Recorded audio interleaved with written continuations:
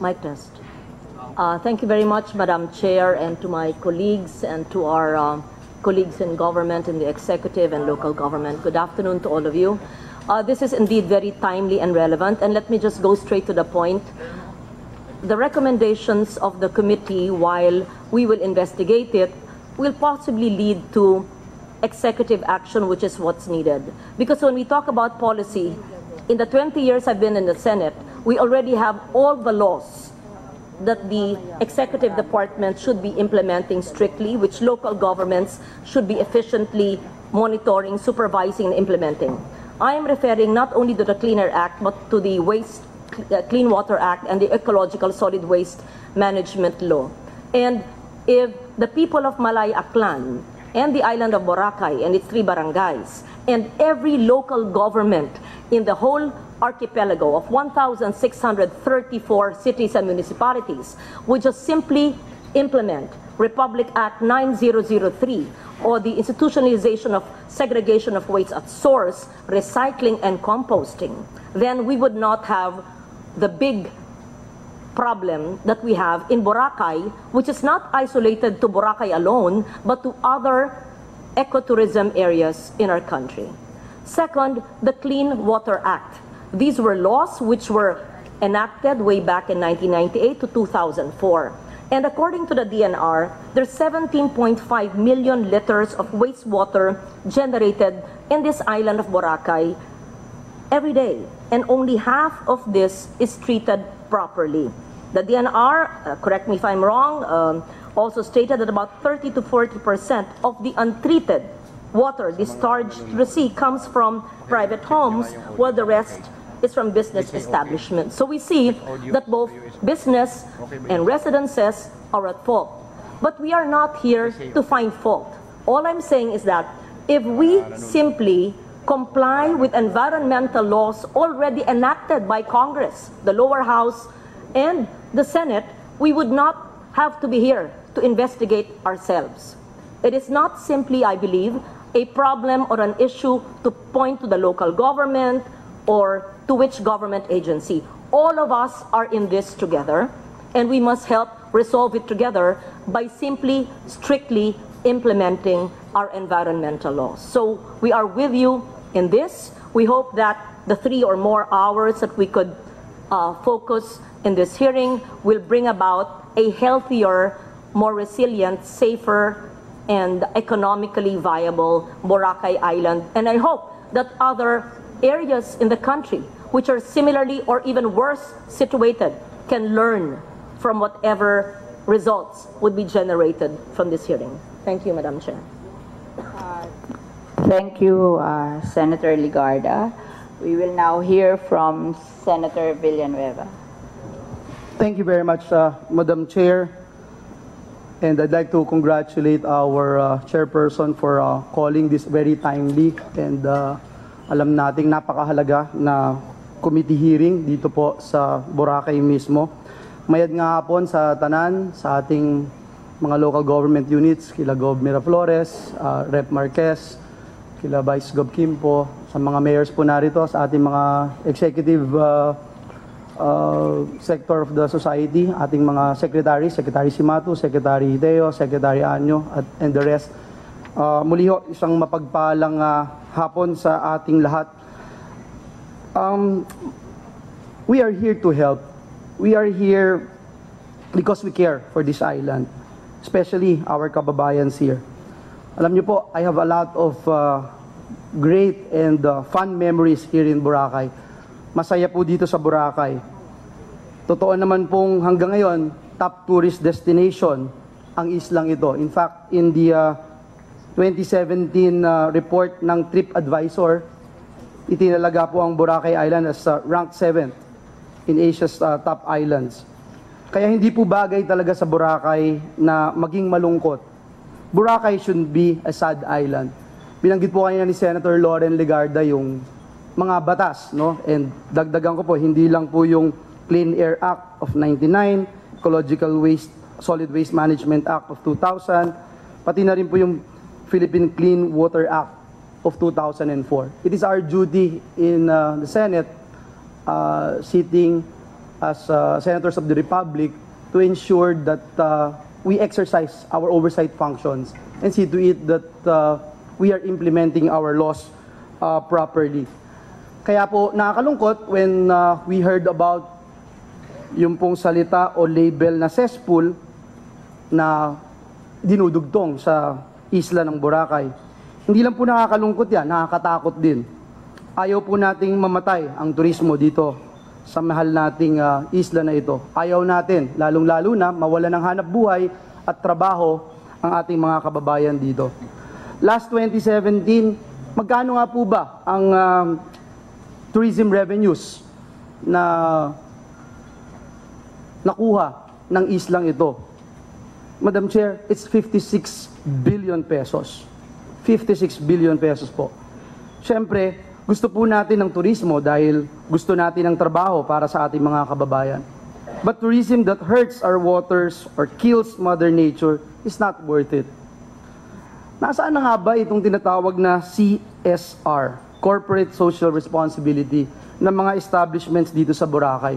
Kagabi pa ho, kahapon pa, magkakasama kami ni Senator Nancy at Senator Migs. We went around the island at nakakalungkot po, ah, hindi mo na kailangan, maging eksperto para malaman na may mga violations po yung ating mga establishments na naririto.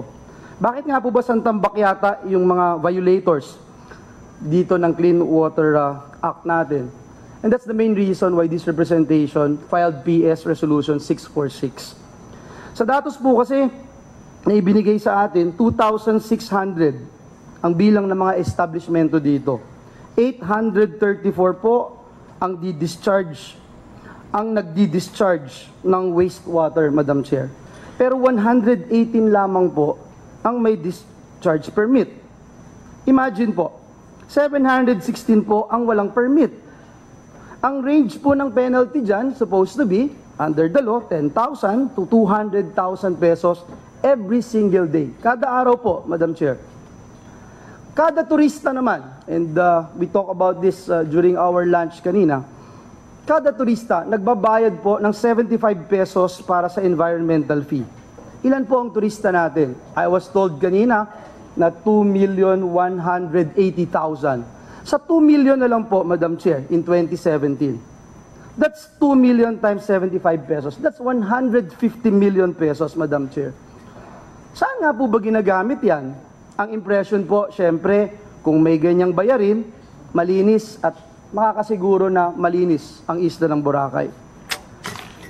In 2015, and uh, I got this report from DENR, and please correct me if I'm wrong with these uh, uh, findings, with this study, with these uh, figures, may findings po na napakataas po ng level ng uh, total coliform bacteria kung saan yung mga drainage system natin. 47,460 mpn or most probable number per 100 ml millimeter.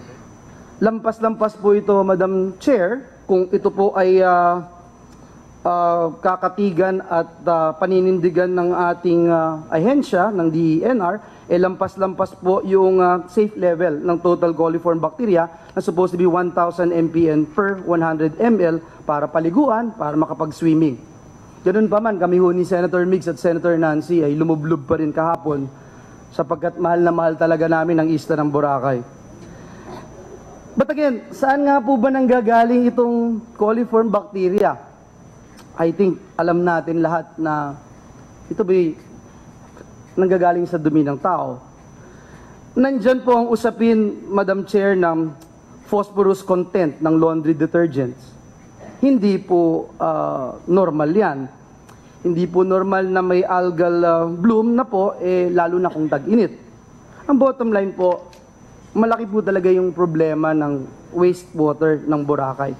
Dahil hindi masawata ang pagdami ng mga establishmentong hindi po nagko-comply. Parang alon po sa dagat, walang tigil at mukhang lampas na po sa carrying capacity ng isla.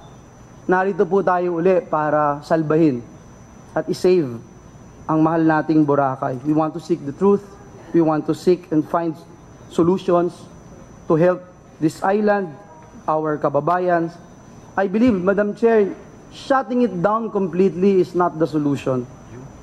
There are 90,000 workers here, excluding those na yung kagabing nak- na, napanood namin nila Senator Migs at Senator Nancy, yung mga ah, fire dancers.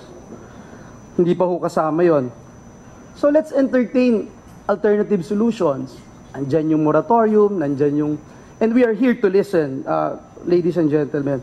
Sayang po kasi, muli, yung magandang imahe ng isla sa buong mundo ang minamahal nating Boracay. Let's ensure environmental laws compliance and create mechanisms for the sustainable development, not only here in Boracay, but also in other places like Coron, Siargao, Samal, etc.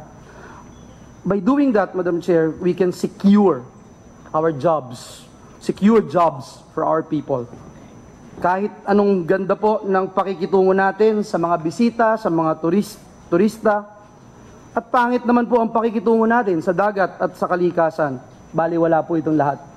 There should be a balance here between economic and environmental sustainability because there's only one Boracay. There's only one Boracay, our pride as Filipinos. Maraming salamat po, Madam Chair. Uh, thank you, uh, Senator uh, Villanueva. We would like now to hear the opening remarks of Senator Subiri.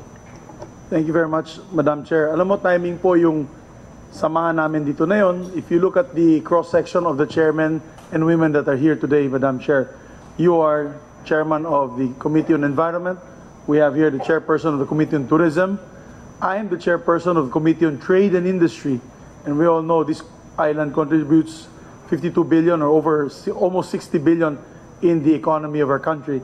We have uh, on the left of our chairperson uh, the head of the Climate Change Committee in, uh, in the Senate and the Finance Committee. And on her left, we have the chairman of the uh, Committee on Labor. As she mentioned earlier, 90,000 people would be affected in such a shutdown. Mga kapatid, Boracay has been a part of my life for a very, very long time. I was talking to Ma'am Billy Calizo, former congresswoman.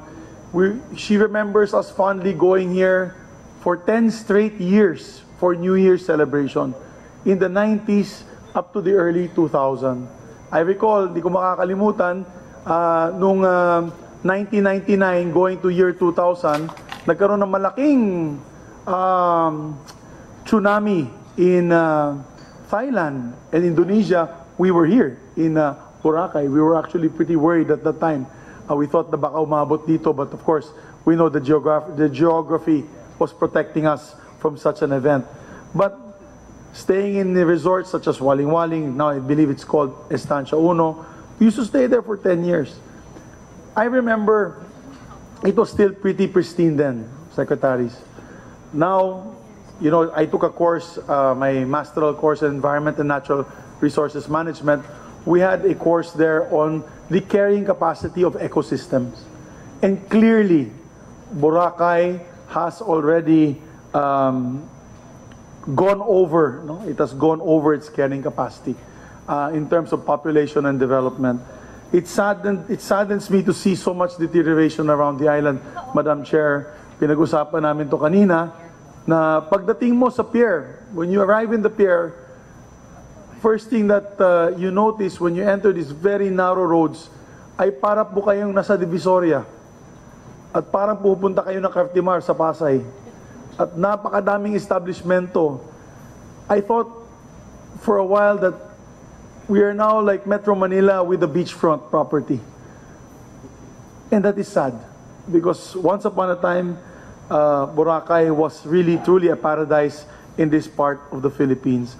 So, my point for us being here, it's a fact-finding mission, pero ayaw din po natin ito mangyari sa ibang parte ng ating bansa. Sabi kanina ni Secretary ni, um, ni uh, Senator uh, Joel, wag po natin ito mangyari sa ibang parte ng ating bansa katulad ng Coron, ng El Nido, ng Panglao in Bohol, uh, in yung Siargao, uh, even Samal Island, as mentioned by him earlier, where the development is now out of control in these areas because of the sheer number of tourists that are coming here.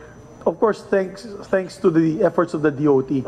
I believe next year we're having about close to 40 cruise ships coming to all these islands. So we have to be prepared. So, uh, my colleagues uh, and ladies and gentlemen, I am ready to present together with my colleagues a a plan of action in terms of legislation by the creation of the Boracay Development Authority. It, I believe, is a long time coming. If there was SBMA, there's Clark uh, Development Authority, we need a Boracay Development Authority to step in because with all due respect sa ating mga local officials, parang hindi na po nat, nila kaya. From what I see, no, it has gone beyond their control and national government has to step in already in the creation of this authority to give a master plan and the master plan has to be um, implemented. It cannot just be all on the drawing board. My friends, sustainability is the key. We have to balance tourism, jobs, income, and environment all at the same time. So we are here to listen to all of you. All the experts are here. All the stakeholders are here. And I will not anymore delay these proceedings any longer. Thank you, Madam Chairman. Remember that we uh, learn from this experience and hopefully it will not be repeated in other parts of the country. Thank you.